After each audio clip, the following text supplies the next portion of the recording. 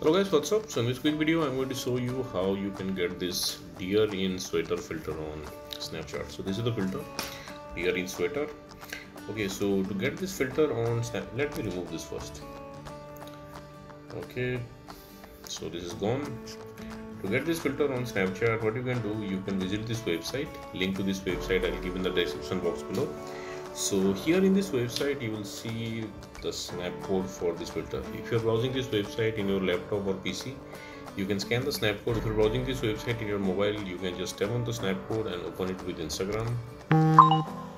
Okay and you will see this pop-up unlock for 38 hours. Just tap there. There you go you got the filter. So that's it guys. Likewise you can get this filter on snapchat. So thanks for watching the video guys. See you in the next video